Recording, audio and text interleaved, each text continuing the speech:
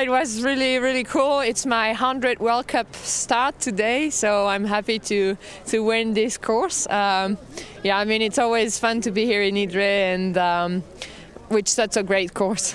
I mean it's always great. I mean when they are here, they love uh, to come in Idre. They come every year, so it's always fun. Uh, my mom, you can uh, her her she because she's making so much noise at the finish line. So like the really high voice it's my mother